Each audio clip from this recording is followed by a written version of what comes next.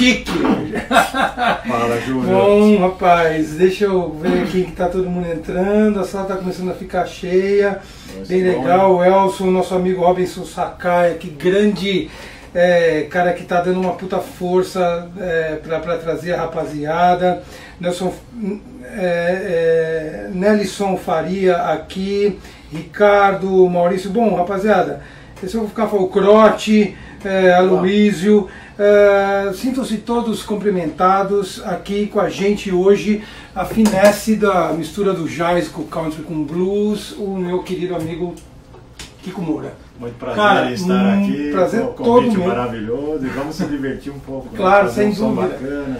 falar um pouco de música, de guitarra, de história de vida.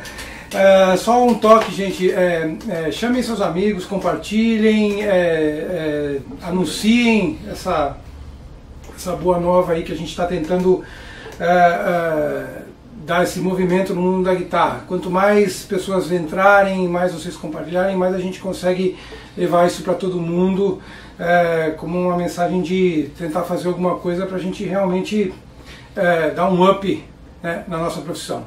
Kiko, é, muito mais uma vez muito obrigado pelo, pelo por, aceitar o convite. Não poderia deixar de, de, de- ter um guitarrista da sua classe, Pô, da eu, sua... eu é que agradeço de estar aqui, eu tenho acompanhado é, vários amigos e também pessoas que eu não conheço pessoalmente que têm estado no programa, né? E é muito bacana a gente. Esse espaço é importantíssimo, né? Obrigado, cara. A gente tocar o que, o que gosta, o, o que vem fazendo, mais, mais pessoas podem conhecer e ouvir a gente também, né? Uhum. Então eu que agradeço em primeiro Cara. lugar e a todo mundo que está aí na sala.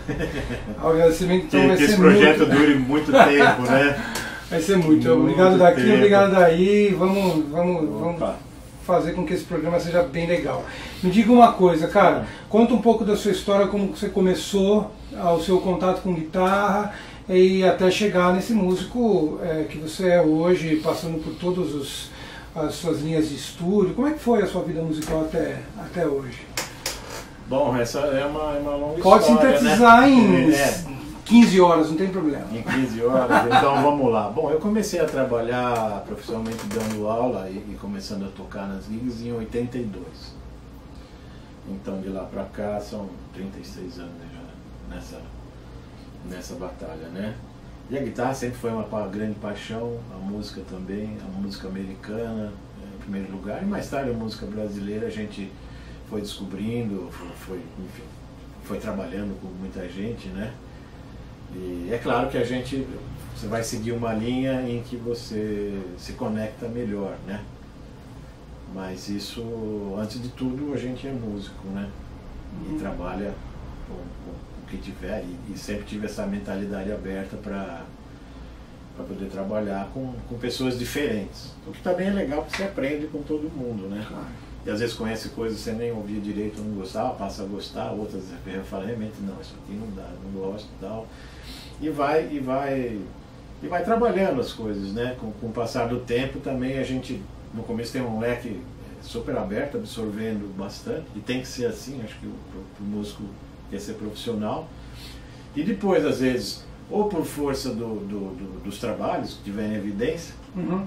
vai te levar a outras coisas, né? Do tipo de som que você estiver tocando, uma banda que funcionou, que tal, então você vai ter que, ter que se inteirar cada vez mais daquele negócio para poder estar junto com os outros caminhando, né? Isso é, é fato, né? Uhum. E isso acaba enriquecendo, né? Porque a gente aprende muito com os outros. Além do- dos professores, tive dois ótimos professores eh, antes de ser profissional. O seu primeiro depois- contato com guitarra foi logo cedo? Se foi um cara que começou mais velho? Como... Não, não foi logo cedo. Eu comecei com 14, 15 anos. Tá. Meu primeiro professor foi o Aldo Landi, Uhum. dava aula numa escola que chamava Academia de Música e Arte José Biancardi, na Santa Cecília. Eu fui aluno lá, depois tive bolsa, depois comecei a trabalhar lá. Ele me ajudou muito nesse período. Depois eu fui para o Conservatório Souza Lima em 83, eh, fiquei lá até o ano 2000. Quando saí. Depois, bom, tenho dado aula em diversas escolas, agora atualmente mais Essa, aula essa particular. passagem pelo Souza Lima foi dando aula já. Foi, entrei lá em Ah. 83, no- no- quando era na Alameda Lorena, coisa. A escola foi mudando de lugar até Uhum. chegar E, e eu fui mais de 15 anos eu trabalhei lá. Então sou do começo da, dos primeiros Primeiro corpo professores né, que, que teve lá. Foi muito legal lá, a gente conheceu muita gente, a gente montou muita banda, fez muita coisa, né? Nos anos 90 tem um período bem bacana lá também, Uhum. enfim. É, foi bem legal. O lance da aula permitia que, que, que pudesse investir bastante também na música instrumental. Enquanto que alguns músicos é, é, trabalhavam mais com cover de rock e até ganhavam melhor, o lance de, de ter a- essa coisa da aula permitiu que fizesse bastante coisa com, no meio instrumental, né? Então isso deu uma bagagem também Claro. nisso, né? Por outro lado, do outro lado fica faltando também. Uhum. Depois mais tarde aí participei de alguns, alguns projetos também fazendo isso. E, e começar acompanhando cantores, né? Uhum. Etc. Mas a, a música instrumental sempre teve presente, desde o começo até hoje. Mantenho isso. Tá. E você começou com guitarra, violão? Como é que foi isso? É, primeiro o violão, meu pai falou, ó, tem que tocar o violão e depois a guitarra. Beleza, então manda o violão, veio o violão, depois veio o violão e a guitarra. E o violão pra mim anda junto, assim, na verdade, pô, pra gente que, que, É, eu que- vejo que algumas cresceu, fotos com você. que, que, que cresceu com todos aqueles, aqueles conjuntos maravilhosos, né? É, a palavra em inglês é guitarra, né? Aham. Elétrica, guitarra, acústica, guitarra, tá? tem sempre. Então, isso é desde Beatles, Rolling Stones, The Who, Led Zeppelin, enfim, tudo. A interação com os dois a- instrumentos, A, né? coisa dos dois instrumentos. Então, para mim, isso é fundamental. E eu venho desenvolvendo é, é, trabalhos com violão, especialmente atualmente com violão solo. Tenho estudado várias peças, vários covers e também com, composto alguma coisa, né? Uhum. nesse formato. Eu quero fazer um repertório bem grande de violão solo. Tá. E gravar um CDzinho mais pra frente, quem sabe aí, né? O seu trabalho como sideman é, é, é tão grande quanto o da, da, da música instrumental? Porque eu vi que quando a gente estava conversando ali, você falou que tocou com algumas. É, eu acho que, fiquei mais, que, é, que é menor um pouco. É menor. Quer dizer, eu toquei com bastante gente até, mas não tanto. Atualmente eu não estou com nenhuma gig, não estou trabalhando com ninguém né, nesse, nesse perfil. Só com, com, com banda minha mesmo e, e duetos Uhum. que, que, que, que- eu faço. Tá, com quem você já chegou a trabalhar ali? Eu trabalhei muitos anos com a, com a cantora Nausete. Ah, não, gente, é isso que eu estava tentando lembrar. É, fizemos dois discos, fiz um disco do irmão dela, Dante, também. Uhum. Toquei com outro compositor bacana que chamava Madan, ele faleceu recentemente, mas eu fiz dois CDs com ele, um trabalho bem interessante. Tá. Indo um pouco com esse folk, meio com, com MPB, folk, rock, assim, né? Era, era um trabalho legal. Fiz direção musical, toquei com o Cláudio Gasparian, atualmente a banda chama Sound People, mas eu, de 2006 a 2010 eu trabalhei com eles. Um repertório mais R&B, Tá. soul, blues, assim, mas eu, eu, foi um trabalho legal de fazer. De tirar e fazer direção musical também é uma, uma experiência bacana, né? Tá. Me conta um pouco sobre é, a sua é, linguagem musical, essa mistura um pouco. Como é que veio? Você começou é, do, do, do, do- do jazz rock, do rock, ou então é, do- quando a gente estava falando do country, depois pro blues. Como é que foi essa migração? Qual foi esse caminho que você foi tomando até é, é, formar a sua personalidade musical? Bom, a escola principal é essa que vem do jazz rock. E a gente, quando, quando comecei a ouvir esse som, ainda de adolescente, e fui seguindo os caras, né, como eu disse, a gente né, ia seguindo os caras. Então, por exemplo, Barry Coryell tinha todos os discos, John McLaughlin, Aldi Meola, todos os discos, Jeff Beck, todos os discos. e tal. Então, e fui tentando aprender o que dá. Claro que é muito difícil, né? Porque Claro. os caras né, tocam num nível virtuoso, mas fui seguindo, embora sempre gostasse do blues, do rock também, enfim. É, mais tarde você descobre que algumas coisas que esses caras fazem, já, já tinha ali essa, né? Essa coisa que pegava a raiz da música americana com a música moderna, às vezes com o erudito também, né? Você vê coisa do Pat Metheny, Ah. é, é linda, como, como ele pega a coisa da raiz americana e, e transpõe, as coisas de violão dele são bárbaras, né? Claro. O Larry Coryell faz muito isso, né? Uhum. com, com as coisas de violão. Então, muitas vezes a gente ouvia coisa não sabia, depois mais tarde você vai entendendo, pô, olha assim que ele fez, que bonita essa composição baseada, né? Em determinada é, coisa ou outra. É, músicos de estúdio, a, a sempre curti muito, e depois a carreira solos dele, por exemplo, Larry Carlton, Lee Ritenour, Paul Jackson Jr., Dean Parks, né? Uh, Philip Church, uma lista enorme, né? Um cara que chama Drew Zig, que é muito bacana, tocou com o Steve Day, toca com o Boaz Scales também, que é, um, uhum. que, é um, que é um guitarrista fantástico. Walter Becker, né, que faleceu infelizmente. Chuck Loeb, também faleceu ano passado. Né? Então essa linha eu, eu acabo entendendo o quanto que, que, que muitas vezes está dentro do jazz, mas é o jazz, mas tem muito blues lá dentro, tem coisa da raiz americana, né? Uhum. Então a partir do momento que você se aprofunda mais, vai sacando mais coisas, né? Vai vendo quanto que uma coisa está in... intrínseca com, é. com, com, a outra, né? Então é muito bacana, por outro lado, músicos como George Benson, Wes Montgomery, Beth Martin, Ben Hall, Joe Pez também, né? São fantásticos. Esses né? são todos os músicos que influenciaram para chegar no, na sonoridade que você são tem. São muitos caras que eu, que eu, que eu, que eu, que eu, que eu escuto muito, né? uhum. né? Que, que, a gente, que a gente faz, ou que, que, que estuda, um dos caras, de algum jeito, de outro, né? Ou acaba se identificando, né? Uhum. Uma coisa, do jazz europeu também, tanta coisa bacana, né? Mas você começou, a minha pergunta é como é que começou isso na sua cabeça? Você começou fazendo o quê? Passou a estudar o quê para chegar a aonde você está tocando ah, tá, hoje? Bom. Como foi esse caminho? Porque eu vejo. O caminho foi um pouco, ao contrário. É, porque assim, eu, é, só para elucidar um pouco a minha pergunta, porque assim, eu, eu conheci, já conhecia o seu trabalho antes disso, mas eu fiquei conhecendo mesmo o seu trabalho, acho que foi em 2008, 2009 com o Marcos Otaviano. Fui ver você no sindicato. Ah, legal. É, é alguma coisa assim, é, é, o, o nome do bar.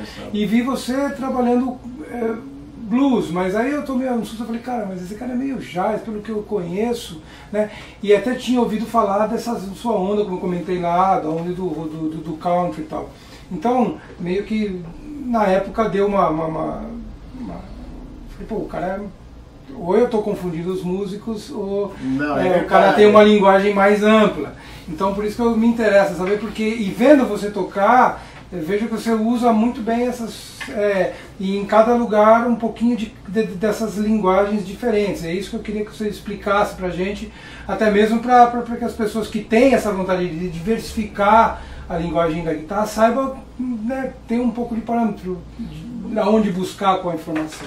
É, normalmente para um jovem para o adolescente, o cara que está estudando e que, que, se torna músico, geralmente entra muito pela porta do rock and roll, né? Uhum. E depois é, é, vai, vai pegar outras coisas quando, quando vai pro jazz e tal, mas é normal que entre por essa porta mais o rock and roll. Entre pela porta do jazz rock. Uhum.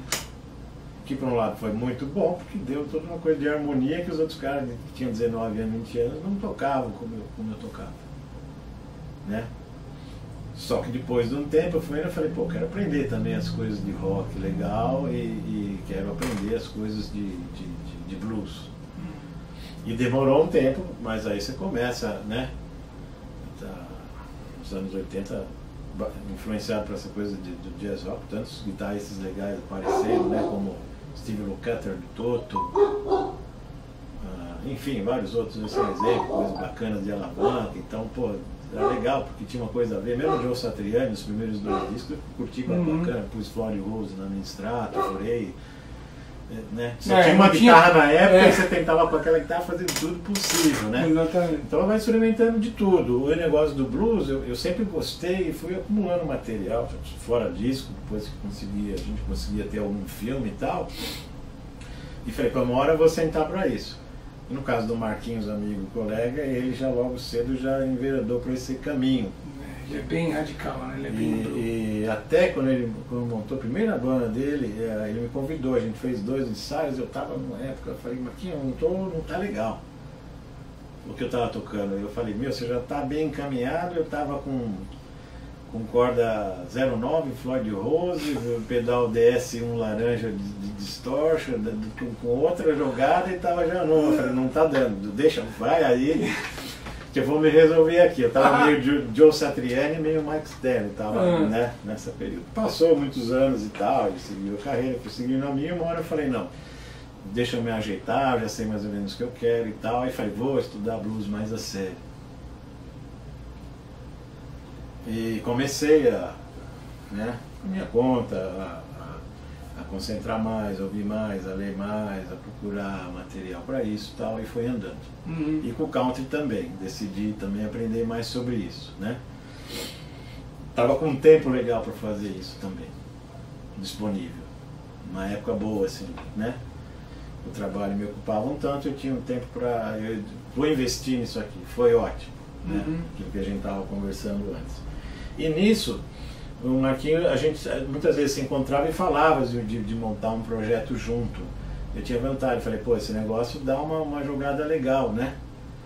A gente fazer alguma coisa, aquela coisa de duas guitarras, que tivesse um pouco daquele espírito do, do Allman Brothers, né? Do Duane Allman, o Dick Betts, os, os músicos maravilhosos que foram lá. Em 2004 nós começamos o trabalho. Uhum.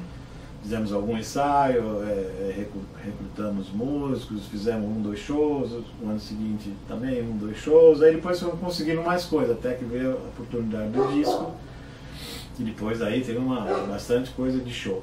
Então foi bom esse tempo, primeiro porque eu fui aprimorando aquilo.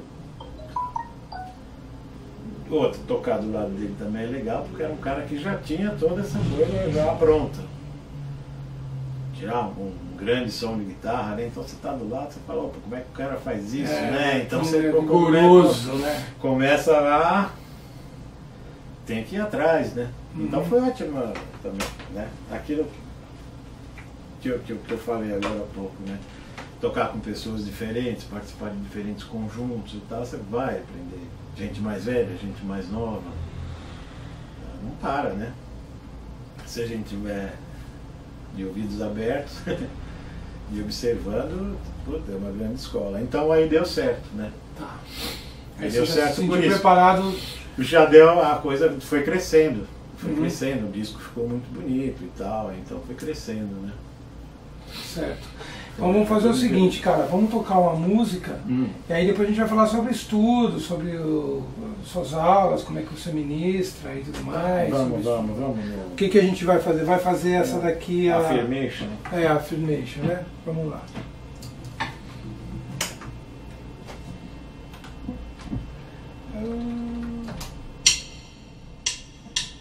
Thank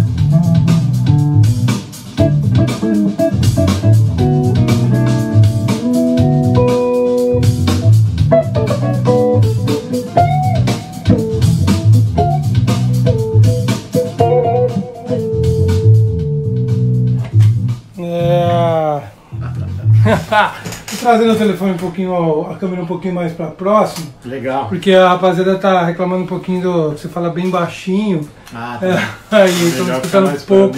É, né? escutando um pouco a sua voz. Fala um pouco pra gente sobre estudo, o, o Kiko. Diz é, o, qual é o material que você usou para estudar. É, você tem isso, como é que foi feito, se era de disco, se tinha é, é, professor te deu, como é que foi? É? Ah, não, tive ótimos professores, né? O, o, o Aldo Landi, né, nesse, nesse período, passou um ótimo material, uma base muito bacana de coisas com harmonia. E mais tarde, isso no meio dos anos 90, eu, eu estudei três anos com o Mozart Mello, um período muito bacana também, em que outras coisas começamos a ver, né? Uhum. É, em cima, você nunca, a gente nunca pode parar de estudar, né? Claro. Então foi um período bem legal. Né? E, e, tinha uma turma muito bacana de, de, de, de, de colegas que que estavam estudando junto na época, que já estavam tocando. Então a gente se reunia, show de um, de outro, e assistia os festivais, né? Que teve muito na época também. Então foi um período bem legal também, né? E eu acho legal, assim, uh, quanto mais a gente puder ouvir, a parte de, de, de, de desenvolver a percepção é, é importante, né? Uhum. Claro, né? O músico, qualquer músico. Eu sempre gostei também a coisa de pegar livro, né? de, de comprar livros, de métodos, é, esse tipo de coisa, né? De material também. Isso também ajuda muito, assistir workshop. Agora é mais fácil porque você vê os caras né, da sua casa. Pode ter isso, claro, ensinar, mas na época não era. Por, por outro lado. Tinha que furar disco, enrolar a caçada. Enrolar e tal. Por outro lado, você dá bastante valor né, uhum. nos negócios. Então você vai vai compilando. Às vezes, às vezes a gente conseguia um livro, ou xerocava, ou depois conseguia comprar como tinha. Às vezes nem, nem, nem estudava ele na época, mas depois ficava lá guardado. Falei, pô, depois eu vou, vou entrar uhum. né, e estudar esse negócio aqui. Isso era legal, né? Bacana, acho bacana isso, né? As coisas de, de métodos. E a gente, dando aulas, também vai desenvolvendo alguma coisa que, que você sente usar isso, usar aquilo com determinado aluno, né? ver o que, que ele precisa, às vezes o cara consegue entender de um jeito, às vezes não consegue de outro, enfim, não é uma coisa simples. Né? Tem que ter um pouco de sensibilidade e o aluno precisa querer também. Claro, né? Mas disciplina é fundamental, pegar uma coisa e desenvolver é, é fundamental, né? Eu, eu acredito para você tocar legal, seja o que for, né? Ter esse caminho bacana. Ah, mas teve algum material, algum material específico que você estudou? Ou não, fui pegando um pouco de, de vários. E tá. observando né, a, a, os outros músicos e, e, e, aprendendo com isso também. Né? De tá. observar a outra pessoa como ela toca, como ela faz aquele mesmo negócio. Perfeito. Né? Nas suas aulas, como é que funciona, cara? O que, que você enfatiza é, é, mais? É, é, é existe, desculpa, a pergunta é errada, existe alguma coisa que você pre prefere dar prioridade ou você vai de acordo com cada, com cada, cada aluno? Como é que funciona isso? Bom, na verdade, a, a gente tenta que tenha prioridade, que é no, no caso de alunos, né? Porque é muito comum é o cara sempre vê essa parte de solista, né? Você sabe disso, né? Esse cara que quer chama mais atenção, né? Então é legal isso, três vezes que tá tocando. Ou, ou que, que, que, queira desenvolver a técnica, tudo isso é muito legal, mas a parte do acompanhamento às vezes fica muito ruim, né? Uhum. Então a gente sempre tenta lembrar da importância do, de, de, harmonia, né? Perfeito. E a importância de ritmo, né? De saber comportar, trabalhar com a guitarra, ou violão que seja acompanhando dentro de uma banda, enfim, toda uhum. essa parte. É claro que é uma coisa que você não pode forçar, mas é uma coisa que sempre insisto em, em fazer, para que seja desenvolvido. Né? No caso, porque às vezes acontece a gente ter alunos de nível mais avançado e alunos que querem se profissionalizar, é uma coisa que eu vou insistir aí mesmo. Uhum. Se o cara está tocando mais um hobby ou outro, você não insiste muito, você vai naquilo, né? Não adianta, porque também o cara para. Perfeito. De, de, estudar, né? Mas a turma que tem mais vontade, e esses já teve vários casos de alunos que se, que se profissionalizaram e tal. Então a gente insiste muito nisso, de saber trabalhar acompanhamento. Tem que dar atenção a isso, como dá atenção na lead guitar, dá atenção na parte de compor solo, improvisar e tal, esse tipo de coisa, né? E as matérias seguem assim. Uhum. né? Agora, tem épocas que eu, que eu, que eu dei especificamente um, um curso que era mais voltado ao blues e, e no guitarra country também. Foi uma época que eu fiz isso.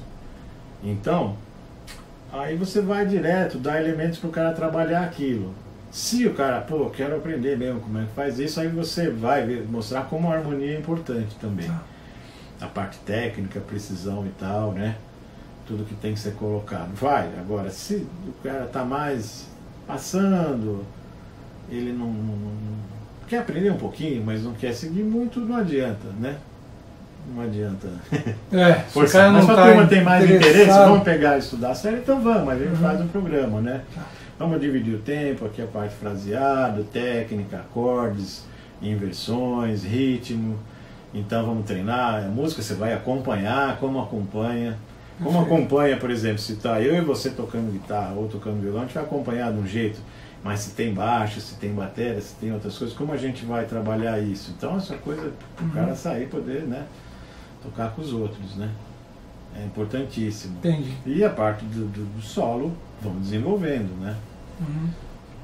A gente não começa já, já tocando solista, tendo um- um- uma biblioteca de, de frases com todo o É, não raciocínio e tal. Acho as coisas vêm vindo É, gradativamente. você não, é né? uma aula de leaks, né? Né, É uma né. aula de música. É uma aula de música e, e isso vem vindo gradativamente, né? Uma coisa que a gente vai. Pô, você gosta disso tal? Pô, então vai, Uhum. vai segurando, vai ver o que acontece, qual a relação que tem com a harmonia.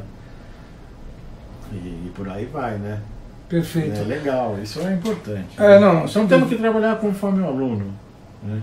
É, não, tem, não tem um. Não dá, não dá mais. Tinha uma época que a gente fazia, uma, seguia uma, uma, uma- um cronograma, é, independente de, de como o aluno tivesse, né? Ou, ou a vontade dele. Ia seguindo o cronograma. Mas essa época meio que, que agora não é essa, né? No momento não, Não tá, não, não, isso, não né? tá dando para fazer isso, né? Então quando pega um cara mais sério, vai mais sério. Se não, vai na boa. né? É o que o aluno pede, é, né? é. Tá certo. Me diz uma coisa, eu queria que vocês tocassem alguma coisa que tivesse uma praia um pouquinho. A gente tem aqui algum, alguma coisa que a gente pegou que tem uma, uma praia um pouco mais. mais Vamos mais... fazer essa, essa, essa, esse Funk. bluesing lá aí. Ah, tá. Então vamos, vamos sim. Vamos sim. Aí já mostra essa linguagem sua do blues, né? É. A gente pode. Então vamos lá. Thank you.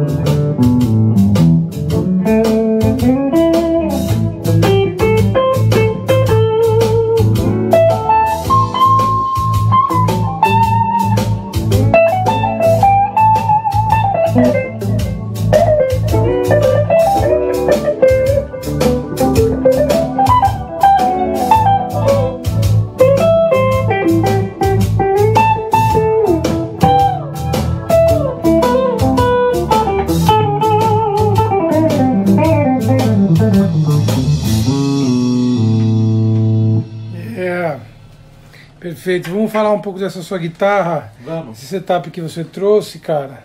Vamos lá, o que, que é? É uma. Essa Gibson Midtown Custom. Uhum. É uma. Midtown Ah, Custom. Midtown Custo, verdade. É uma guitarra, acho que a Gibson lançou no final de 2011, essa aqui é bem 2012. Eu não sei se ainda está em linha. Ela é uma. uma quase Ela- uma 335, só que mais. só que menor, né?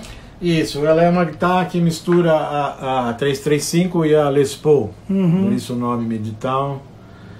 Ela é semi-hollow body também. Uhum. Mas ao invés de ter o bloco de maple, como é a 335, né? Uhum. E, o, e o top e o fundo laminado, ela tem um corpo, um corpo de mogno sólido como uma Les Paul. Tanto que a parte elétrica é como uma Les Paul. Certo. E escavada com as Tá. câmeras e o top de maple maciço. Tá. Então é como uma Les Paul semi-acústica. Perfeito. Um E braço ela. de mogno. Tá, e com a escala de. Maple, né? De, É. ah, desculpa, de Maple de ébano, me perdoa. É, é, na verdade, essa, essa escala é um chama Hit Light. A Gibson desenvolveu para criar essa textura como se fosse a, o ébano. Ah. Mas ela é uma, é uma mistura de uma resina.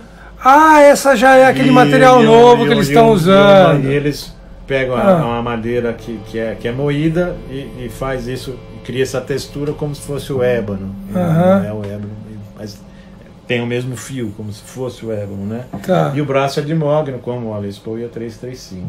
Picape Então- dela, o que, que é? É um É o super. Gibson Bust Bucket. Buster Tá. Então ela, ela é muito próxima, na verdade, da, De uma Lespa. 335. E de uma também. 365. E tem menos peso e, sim, é mais barata que a Uhum. 335, né? É meio compatível com a Les Paul Classic. Tá. Então é uma alternativa se você quer uma 335, mas não dá. Essa é muito próxima e interessante. A guitarra funciona muito bem. Eu tô É, não, tinha um timbre esse- muito bonito. Esse tempo todo e ela. Eu chego muito perto da, Tá. da, na 335. É, é, tem um Ah. corpo de guitarra É. é, semiacústica, né? Ela É um essa pouquinho jogada. diferente do, do, do- da, da, da Les Paul tradicional. Da Les Paul tradicional É. maciça. Deixa eu dar uma olhada aqui. E aí aqui Agora vamos falar de efeitos, nós né? Temos o. esse Honey Bee que é da Barefoot. É um overdrive muito macio, Uhum. funciona muito bem com a Gibson, né? Acho que ele é baseado no Supro, no preâmbulo do amplo chamado Supro. Sim, né? sim, amplificador super. Ah, Ace Booster da Zotic é um pedal fundamental. Eu adoro os pedais dessa, dessa empresa, né? Uhum. E esse booster é legal, pode ser usado como drive ou como clean booster. Ah, Estou usando mais como um clean booster, mas dando uma, uma aquecida. Uhum. E é um pedal com Fender, assim, é um pedal que pode, pode ficar ligado direto. Muito legal de tocar esse. Né? Você pode deixar um extrato na tela e deixar ele direto. Meu abraço. Perfeito. Muito bacana. um chorus aqui da. Esse chorus é Neo Vision, né? Uma coisa assim. Eu quase não uso mais, mas fica aí raro. O chorus enjoou tanto a gente, né? É mesmo? Ah, Sei. aquela dos anos 80, né? É, nossa, chorus eu em sou tudo, né? apaixonado Então, por chorus. tudo-. É um é bonito. Claro, obviamente que existem esses lugares É. para ser colocado, mas eu sou apaixonado.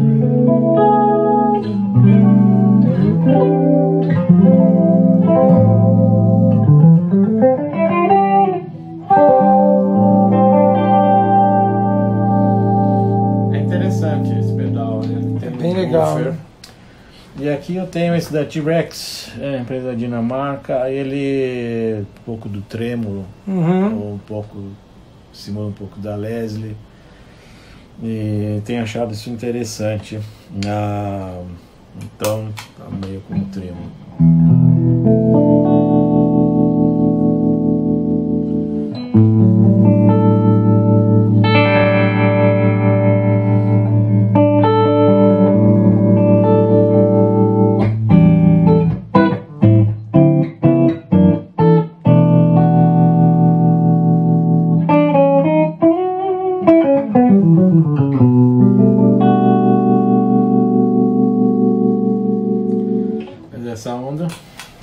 É muito legal porque a hora que você toca, ele não esconde a sua nota, mas a hora que você dá o acorde e segura, o trêmolo vai enchendo, né? Ele vai, vai, vindo, enchendo, né? é. Você, É muito você legal isso. quanto você quer da guitarra, sem ou não, com esse, com esse volume dele, para ter mais efeito ou não. Olha que bacana. Então isso é uma coisa que vai né, é, fazendo, por Aham. exemplo.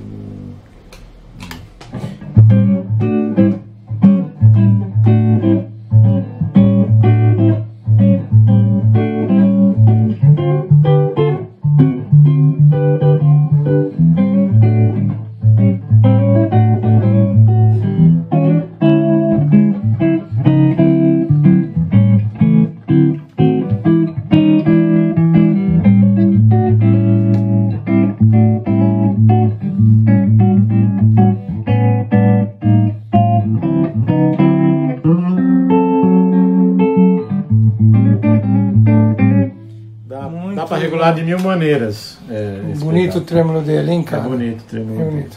Aí Aqui vem um digital, digital delay, delay DD3. DD3, famoso. que eu vi que você usa de vez em quando, né? Toda hora. Ah, e esse tal Tio A eu consegui recentemente. Ele é o primeiro que a Boss fez, né? Pedal de Esse é filtro. que liga e ele não, a luz não fica acesa, ela só pisca para ligar e desligar, não é isso? Não. Esse é o antigo ainda? É o antigo, é da, fita. Ah, não, esse já, esse já é o, o que mantém a luz acesa. O primeiro, você liga, ele acende a luz, o som é, acende e apaga a luz, aí o som é, é- é acionado. Aí depois acende e apaga o som. Mas esse é bem, é bem, é Sim, bem na sim, sequência, sim. viu? Depois eu tive o, o que veio depois, Uhum. alto A, É. e depois o Dynamic o A último. Esse é o mais gostei. legal, né? É, aí, eu, aí eu achei esse que é mais legal. É, o mais legal de todos É mesmo. mais legal. Nossa, tô louco atrás de um pedalzinho É. desse. Eu ia comprar.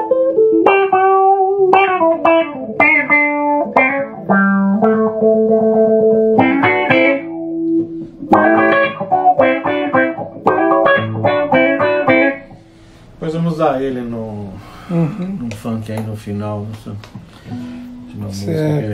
Toca um pouco nesses dois overdrives que você tem, tanto o, o- esse. É, O Honey Bee. é, no Running Bee quanto no, no, no, no RC Booster.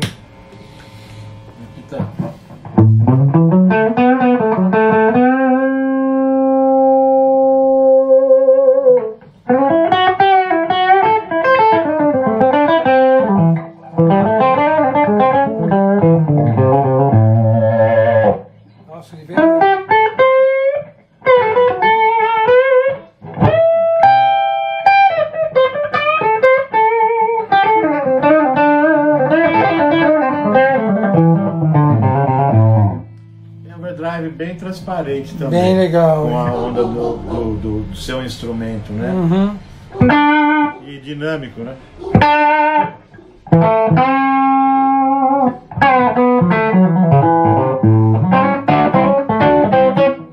Conforme você, você trabalha a força, ele também aparece.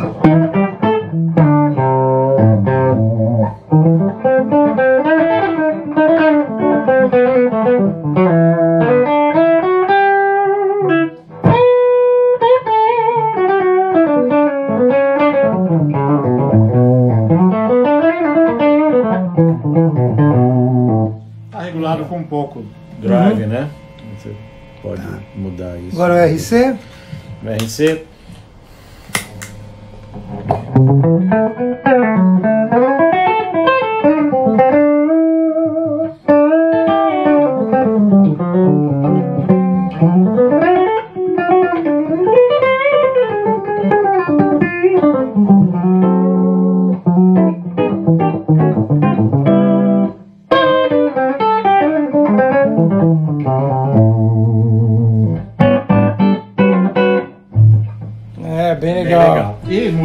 configuração também ele vira drive. Você né? consegue deixar ele mais drive, né? Consigo deixar, é bonito. É Perfeito. interessante. Ele tá mais um regulado mais limpo, mas Uhum. dando uma, uma aquecida, né? Tá certo.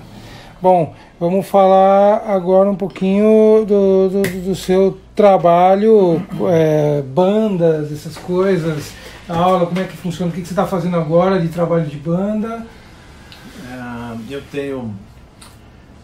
Faz dois anos ah, eu montei a Midnight Jam, Uhum. que é um, é um projeto de jazz com vocal. Ah, deixa eu só perguntar uma feminino. coisa, só uma coisa. É, qual corda que você usa e espessura? Nessa, nessa guitarra eu uso o 010 regular, Tá. né? E a guitarra que eu toco também. 010 eu- normal. Usando Afinação em 440. 440, com, com extrato e télio também uso 010 regular, Tá. normal. E eu tenho uma guitarra hollow body, uma guitarra de jazz que eu uso corda 011 chrome, flat, Tá. wood, né? Perfeito. Aquela corda de sonoridade jazz clássico. Marca, tem alguma específica? É da Dario. Antigamente eu gostava muito da Thomas Tico, essa corda sumiu do Sumiu mercado. do mercado faz um Era tempo muito já, legal, né? é. Eu um uso tempo. da Dario. Dessa guitarra é. Da Dario Ernie Ball, geralmente Ernie Ball. Mas da Dario Tá. também eu gosto muito? Tá bom. Nessa. Não, não, não tem pouco ácido úrico na mão, dura bastante. Dura, É, tem pouco. Não É. tem essa sorte. é, pois é, né? Com o Fez preço que tá algum- hoje, quem não tá fudido. Né? Tem de alguns amigos que se fodem com isso, cara. Cara, meu, Flavinho. Lembra, você conhece o Prieto, né? Sim. Planta bicho. Ele olhou pra corda, ela, ela não enferruja, ela esfarela. É, O não, cara tem um ácido úrico absurdo na mão. É né? impressionante. Muito foda. Tá bom, Impressionante. voltando agora então ao trabalho, banda, essas Certo. coisas. Então a Midnight Jam é um, é um projeto de. de é, são, são quatro músicos, guitarra, baixo, bateria e vocal. Uhum. E voltado ao jazz e, e jazz pop também, né? Então a gente toca clássicos assim, do jazz e, canções da música pop e rock harmonizadas em jazz. Tá. Um pouco de soul funk também, assim, né? Aquela onda mais jazz também Uhum. assim, nesse trabalho. Então isso tem feito bastante. E de instrumental eu tenho o Guitar Duet junto com o amigo Álvaro Gonçalves.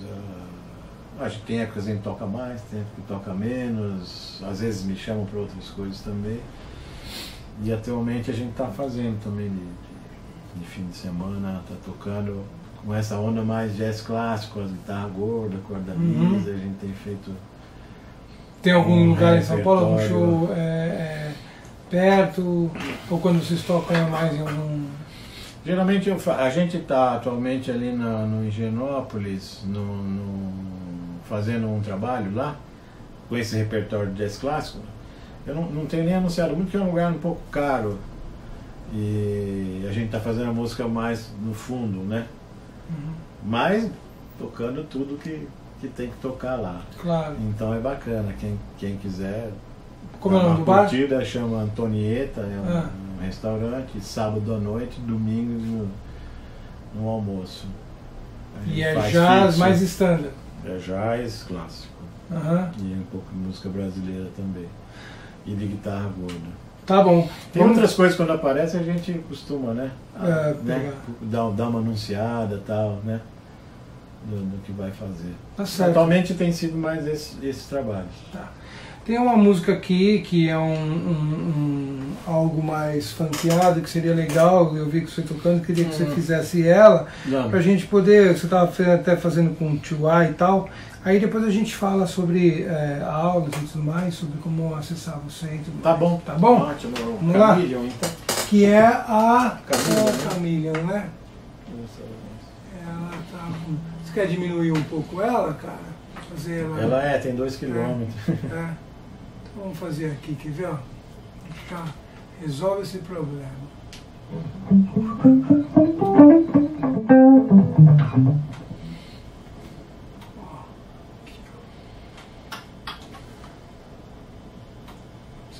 colocar o fade aqui. Então não vai ter nem como fechar o fade out. Tá fechado. Vamos lá. Vamos.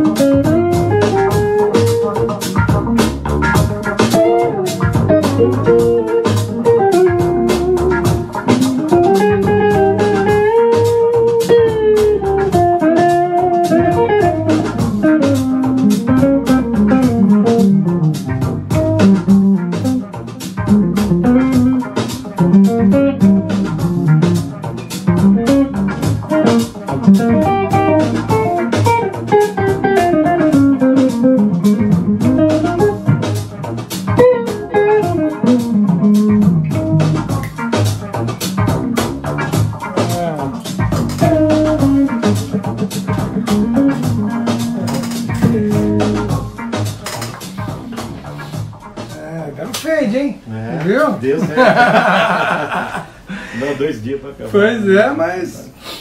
Me diz uma coisa, cara, quem quer ter aula com você, quais são os canais, você dá aula por Skype, é presencial, é, é, como é que funciona? Pra, Não, tem os três jeitos, a, a, aula particular em casa, posso fazer aula por Skype, né? às vezes algum aluno que mora uhum. longe, né, tem essa, chama a gente para fazer esse tipo de trabalho tem, tem as limitações do Skype que não dá para você tocar junto ao mesmo tempo, claro. mas por outro lado dá para dá para conversar legal, passar um monte de coisas interessantes uhum. também, né? Claro. Que, que ajuda quem está longe. E tem alguns casos em São Paulo, às vezes, do, do, do aluno que, que, contrata você, você vai na casa dele, a domicílio. Esses alunos são, são, são mais raros, mas geralmente é uma, uma, um aluno, um cara mais ocupado, né? Então, para ele ter esse, esse tempo de se deslocar para ir no local, ele prefere que, uhum, pode falar. que o professor vá na casa dele. Geralmente são caras que têm instrumentos maravilhosos, né? já, já bem de vida, tem todo um arsenal lá pronto, né? com a guitarra não precisa mais nada. Às vezes nem levar precisa, mas leva mais claro. pra, né? É, se o então, às vezes o cara fácil. também quer mostrar, ah, comprei essa, é. essa Gibson não sei o que, essa Fender não sei o que, Correia Smith, lá, e lá vem coisa, né? Tem esses, esses alunos também. São, são mais raros, mas tem. E a aula em casa. Tá, a mesma coisa para acessar você, como é que faz? Para te achar? É, telefone ou. É, pode me passar, por favor, telefone, e-mail, tudo. Ah, telefone é 011 95920 3210. Tá. Repete, por favor. É, 011 95920 3210 ah, via Facebook, pode mandar mensagem Kiko também, Moura. que a gente responde. Ah, e-mail kikomoura548 arroba gmail.com Perfeito. Estamos na fita. E aí, um, né? me diz uma coisa, é, o material de estudo o cara pode selecionar o que ele quer, dentro do country, do jazz e do rock e do Pode, blues. pode, Você à tem vontade. tudo isso. Pode, é, vontade. tá, tá bom. Ou se quiser ir pelo caminho né, normal de harmonia, de É. desenvolver. Né? Pode segmentar ou pode. Pode segmentar, pode fazer um curso de música normal, aí é, a vontade do, do cliente. Do cliente, né? né? Do cliente como ele, como ele preferir. Então tá bom, vamos deixar isso aqui, por favor, Kiko. Fique de pé, por favor. Agora é nós. Bom, Muito mais uma obrigado. vez, um ao vivo lá em casa termina. Ah, hoje com a presença ilustre do nosso querido Kiko Moura, grande músico, jazzista, é, bluseiro, countryista, guitarrista. né? Muito grande obrigado. lance. Cara, não tenho como agradecer, foi muito Valeu, pessoal. inspirador ver você tocar. Cara, mais uma vez, muito obrigado, viu? Eu que agradeço, pela Júnior. presença. Valeu, pessoal. gente. Até mais. Tchau, Até. tchau. Tchau, tchau.